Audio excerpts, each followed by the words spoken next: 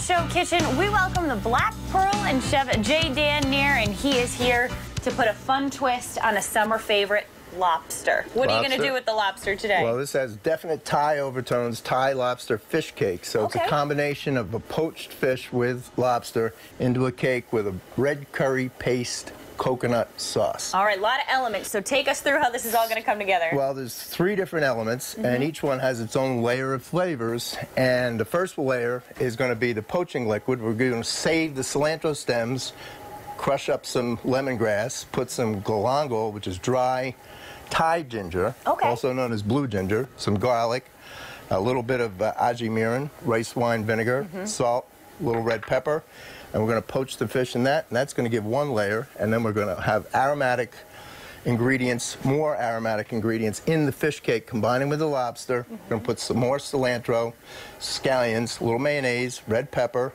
some more fish sauce, lemongrass powder, and a little panko to hold it all together. Yep, for the cake, And some yep. salt and pepper, of course. And then the the final sauce is coconut, reduced down with Thai, sweet Thai chili sauce, and red curry paste, and then finished with butter.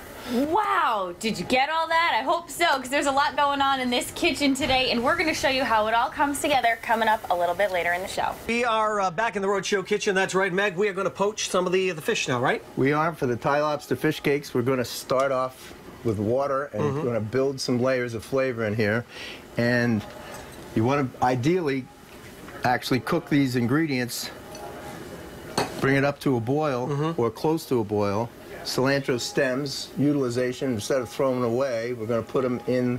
In with make the- a Thai court bouillon, if you will. Okay, and a lot of the great flavor is in not just the, the leaves themselves, but in the stems too, right? Right. It's they're they're not as delectable to eat. Right. Mm-hmm. You know, and they're a little more pithy, as they say. But uh, and this, of course, is definitely not um, delectable to eat. These are dry galangal root. Okay. Which I is, never even I've never even heard of that before. see we're Thai lingual now. Uh huh. Yes, we are. now we're, we're learning stuff too. Uh, this is Thai ginger. Okay. Also known as blue ginger. All right. Uh, the reason, I guess it got its name because the flower is sort of a bluish green. Okay. It's indigenous to Indonesia.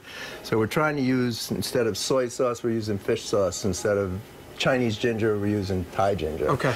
Um, trying to stay. So, So we put that up. This is on a simmer right now. It's you know boiling a little bit. and throw some garlic in there you don't too. want right? to you don't want to cut and chop anything too fine because you don't want to get it mixed in chunks of it mixed in with the fish. Okay. So the garlic, you just break it, don't put it chop in. it, don't mince it. A little bit of salt. We're just breaking it up so some of the oils come out. The Uh, you just some of the wanna- flavor. Yeah.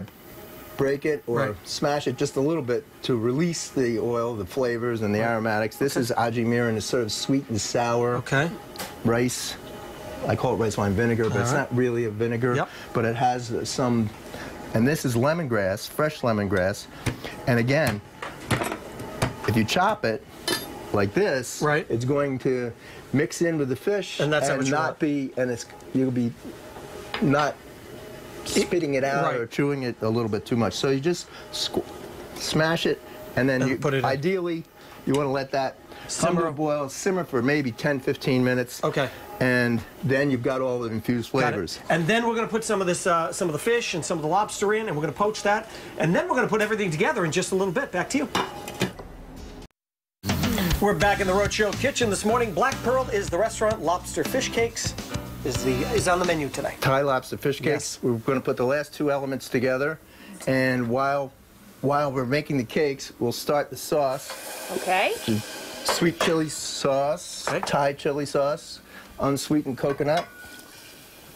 Now, you, it's a it's that sweet chili sauce. Are you? But it has a little giddy up to it. Okay, it does yeah, have but a I little. Giddy up. You added the coconut milk, And so that's probably going to take away a little of the heat. Right, it's going to smooth it out. But this, Okay. the curry, this is the curry, Thai curry uh, paste, Mm-hmm. and this is red. They make green, they make yellow, and this is uh, appropriate for what we're doing. Great. And that's going to reduce down, Okay. and then we're going to finish it with butter. While we're doing that, we make the cakes. I like to do it by hand. So get it broken up into small broken chunks. up. Yeah, let's and- make crab cakes by hand too. There's Right, something about and it. you, but in this case, you want to make sure there's no little bones in there. And if you mix it up with a with a whisk. You'll miss uh, it. You'll, You may could, miss them. You could Yeah, miss could it. miss them. Add the chopped lobster, a little red pepper, And you were telling Michaela that you can use any white fish, correct? any white fish. Any white fish. Sole, uh, halibut, Mm-hmm. pieces of bass, a little bit of lemongrass powder, reinforce that same flavor. Mm-hmm. Cilantro, which is the aromatic. Don't want to chop it too too fine because it bruises it and actually changes the flavor. Huh, I never knew that. And then the scallion, save some of them for the garnish. More aji mirin, Which is that, what, rice wine vinegar, I think? and it's sort of sweet and sour. It's it has a little sweetness to it.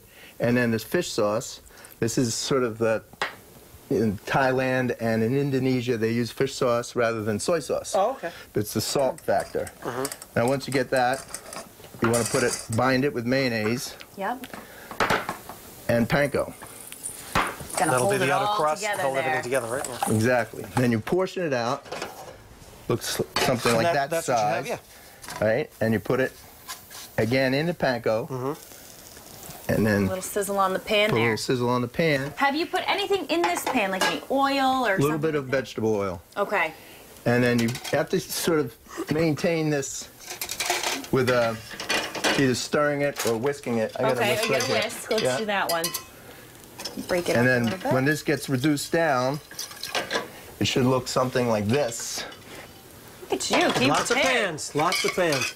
A little Oh, so it kind of- thicker. It thickens up. It Yes. thickens up, smells concentrates the flavor.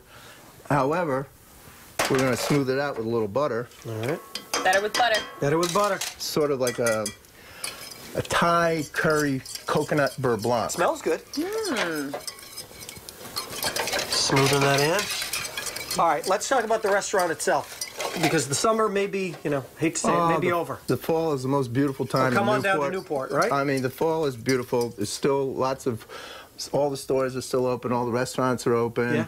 and it's just the be- best weather. You know, it's almost a guarantee. Spring is a coin toss, Yeah. a little bit weather-wise, Right.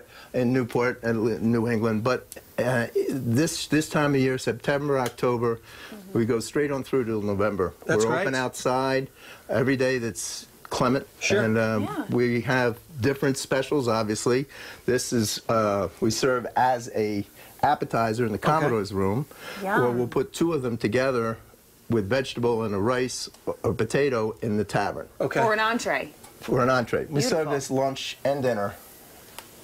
Yeah, I mean, that Once really it- is. It's an anytime. It's not on the menu. It's as a in addition to the menu because you know when it's it has to be fresh and when it's gone, it's gone. Right, That's okay. true. That So, is true. and yeah, you can make this again. You know, if you're cutting up fish and you don't, you're not going to make the fish cake, the lobster fish cake that same day or the next day. Mm-hmm. You take those little end pieces, end cuts, put them, wrap them up good, Hang put to them in it. the freezer, and hang hang on to it, or poach it and then freeze it. Right. That's because you're going to mix Everything all of together these other anyway. binding ingredients and aromatic flavors with it, and you've built three different layers of flavor and three different elements. Very It good. is Each one. so good. We have Com- built them all up Yes, for you have. this morning. But if you want to build them for yourself, head on over to the Rhode Show page at WPRI.com for the recipe.